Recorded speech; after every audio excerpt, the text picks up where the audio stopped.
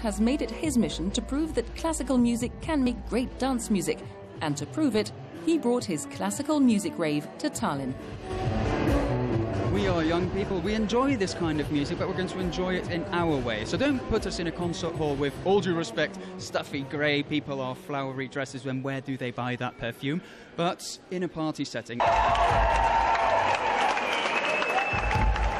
And that in combination with live or DJ'd and light sets and design and all that, it just becomes a smashing party with classical music.